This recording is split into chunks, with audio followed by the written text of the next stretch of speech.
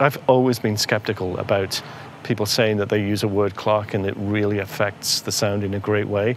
And this is one of the first times I've actually had the time to sit down and do it. And I'm shocked.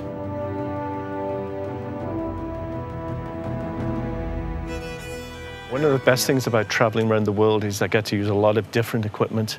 So whenever I get to try something new, it's fantastic. It's a good, it's a good opportunity.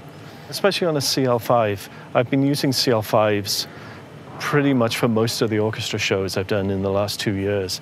And I really love it because it sounds great and it's very quick to set up. And when you travel and use different systems, it's great to be able to bring a show file that you know is consistent from show to show. So there's a couple of consoles I use, but the CL5 is just fast and very easy to use and sounds great.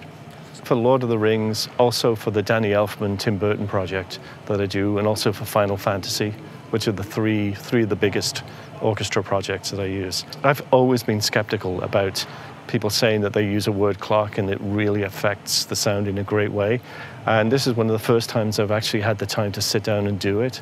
And I'm shocked by, the, it, it's subtle, but it's really tightens up every spectrum every part of the audio spectrum. The lows are really punchy, the mids are much more defined, and it seems to add a lot of air, which of course when you're mixing orchestras is really important. You know, when you, I think when you're mixing rock bands, you tend to roll off a lot of the highs just because everything is so close mic'd. But in orchestras, you just want that beautiful air on the top of the mix. What's a shame is that we're not able to switch between the internal word clock and, and, uh, and the other device to uh, in the middle of a, a soundtrack or the middle of a performance just to get the AB. But just listening to music, you know, just, just doing playback yeah. has been fantastic. It's been a, a kind of kind of revelation.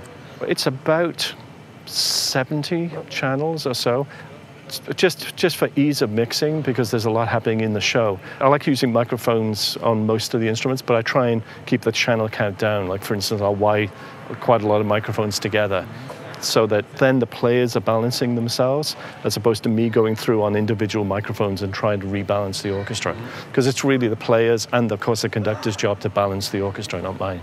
It's a struggle getting clarity when you have so many microphones on stage and you're in a venue like this, which has a very live acoustic and the low mids especially build up very quickly. You know, I think when you put a speaker in a box and you put a box in a room, you just get this buildup of low mid. So anything that helps you get great definition and punch is, is definitely a tool that's useful to have.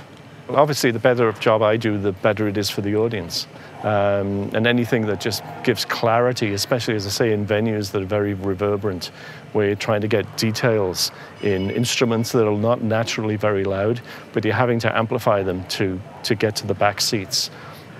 So anything that gives you definition and clarity is uh, it's a great thing, and uh, it def definitely improves the experience for the audience.